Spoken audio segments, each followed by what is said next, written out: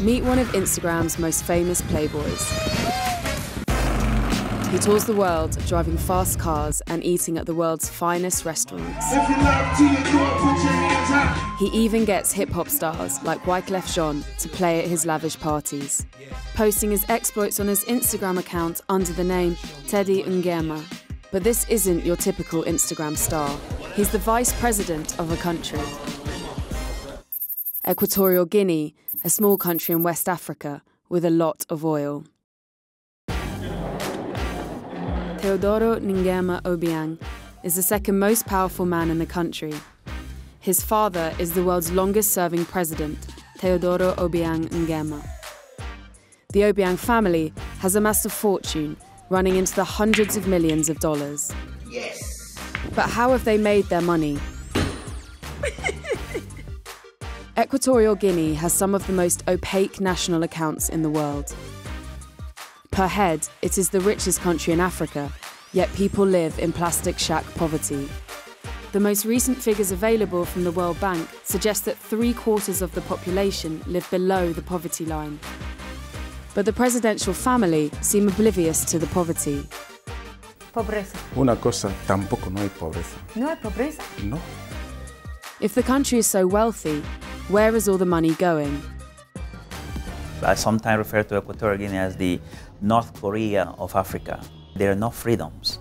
Today, Equatorial Guinea has the widest gap between GDP per capita or income per capita and Human Development Index, access to healthcare, access to water, access to education. Tutu Alicante is a lawyer from Equatorial Guinea who is in exile in the United States. He runs an organization that is trying to tackle corruption in his homeland. It is extremely dangerous for people in my country to speak their mind about anything the government deems political. He knows firsthand how the massive theft of public money has left little behind to fund public services. In Equatorial Guinea, going to a hospital is in fact uh, signing your own death sentence. My sister had a complication with a pregnancy and she died at the hospital, bled to death because there was no doctor in sight. While most of the population live in squalid conditions, Teddy splashes the cash, showing off his wealth on his Instagram account. Often using the hashtag luxury living, he reveals a life of privilege and excess. Court papers say he amassed around $300 million worldwide between 2000 and 2011, despite earning an official government salary of less than $100,000 a year. The Department of Justice alleged that Teddy embezzled millions of dollars from the public purse as cabinet minister. They discover, for instance, that he had purchased multi-million dollar private jet, a mansion in Malibu, and then the luxury cars. The Department of Justice agreed a settlement of around $30 million with Teddy.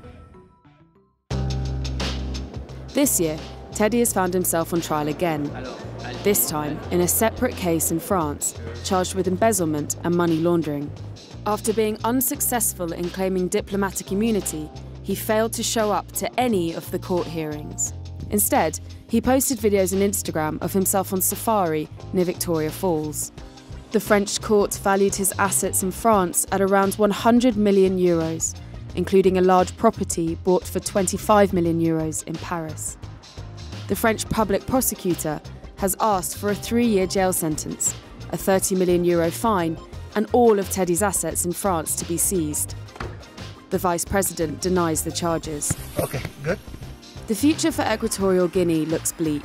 The president is aging, and his son is preparing to take over. This is someone that is more concerned about flushing his cash than governing. The spendthrift strongmen of Equatorial Guinea are not the only presidential family in Africa who are under investigation for embezzling from the public purse. The presidents of Gabon and the Republic of Congo are also being investigated by judges in France. But Teddy's had a busy time of late, posting from the beaches of Brazil to the Great Wall of China. There are plenty of countries where regulators turn a blind eye to despots who want to hide their ill gotten gains. But their secrets are increasingly being leaked. And it helps if the autocrats themselves do the leaking via Instagram.